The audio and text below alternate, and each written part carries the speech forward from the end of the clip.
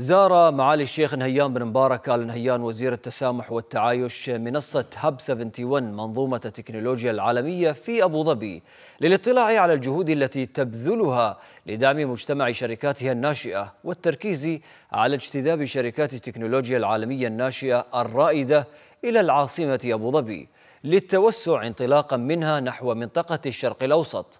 وقال معالي الشيخ نهيان بن مبارك آل نهيان سررت بزيارة هاب 71 في أبو ظبي التي أسهمت بدور ملهم في تطوير بيئة مزدهرة لريادة الأعمال الناشئة ودعم شبكة حاضنات الأعمال الوطنية لصندوق الوطن في دولة الإمارات